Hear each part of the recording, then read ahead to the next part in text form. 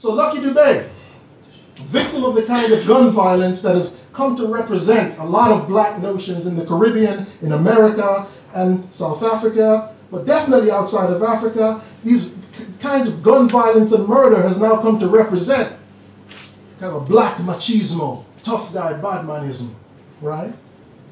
But at the same time, murder seems to also represent notions of national and cultural freedom that are also incomplete, right?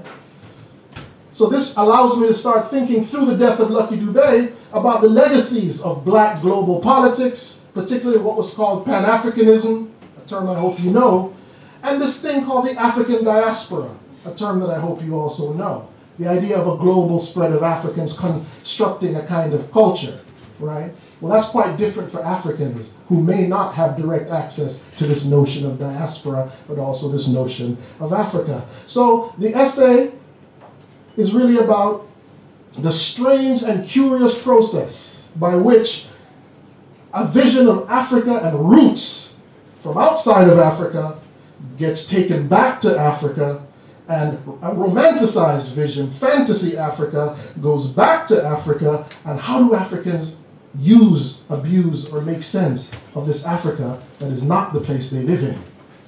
Right? That tricky, tricky little thing is what motivates so much of the work that I do as a writer, but also with the music stuff that I'm involved in too. Because this is interesting because for someone like Lucky Dubé, a South African, you would imagine, well, there's no question, he's South African, he's truly black, right? Well, no, he's Zulu, right? He was Zulu, that's quite distinct, right? But because for Lucky Dubé,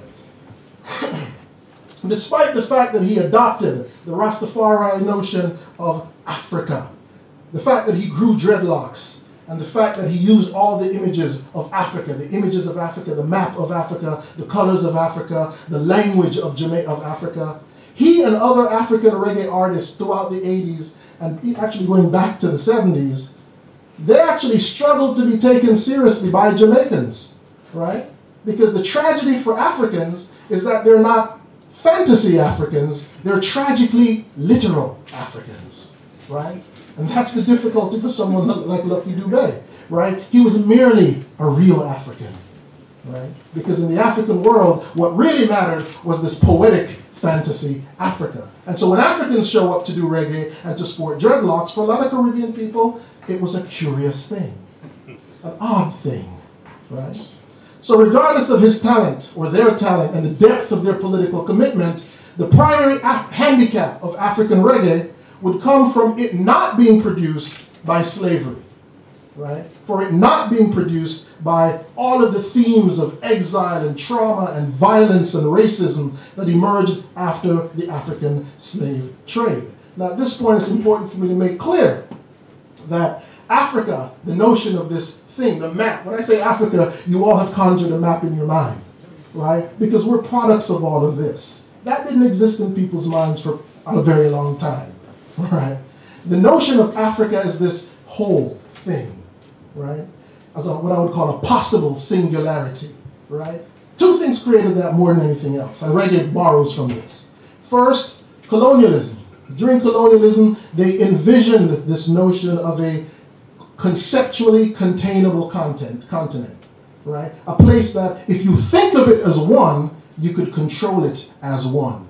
And if you think of it as a whole, you could then parcel it up into small bits and share with other colonialists, right? So it was a concept that colonialism really constructed that Africans had nothing to do with, right? That's important to always remember, right? The second thing that influences this notion of Africa that we all share here is, in fact, a lot of political movements that came from the black world. Things like, and I'll just throw some names, Ethiopianism, Ethiopianism was a very important 19th century black cultural movement that influenced Rastafari and reggae music. Ethiopianism, right?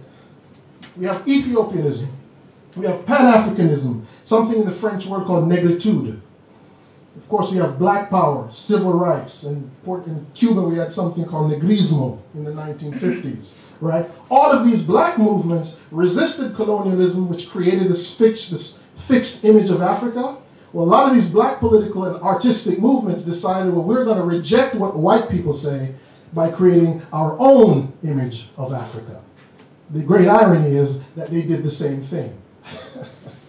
they both did the same thing, but for different purposes, right? Now, all of these things feed directly into reggae music, right?